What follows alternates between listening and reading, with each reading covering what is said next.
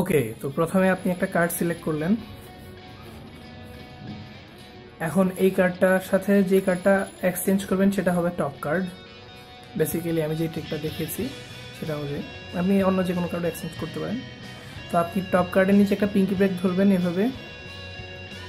যে আমি পিঙ্কি ব্রেক ধরলাম। পিঙ্কি ব্রেক কীভাবে ধরে, এটা আমি অন্য ভিডিওতে শিখিয়ে দেবো। ডিসক্রিপশানে লিঙ্ক দেওয়া থাকবে।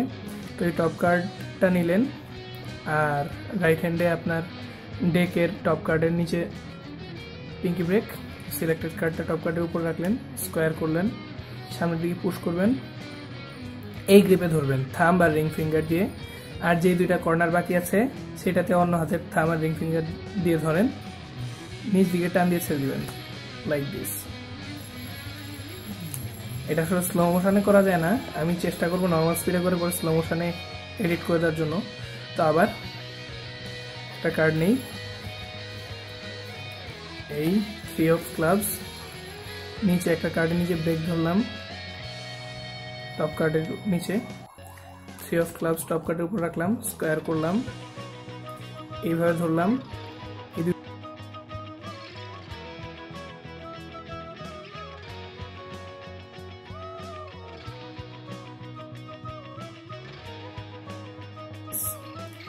ভেরি ইজি ভেরি সিম্পল খুবই ইফেক্টিভ নর্মাল স্পিডে করলে কেউ বুঝবেই না যে আপনি জাস্ট কার্ডটা উল্টিয়ে দিয়েছেন।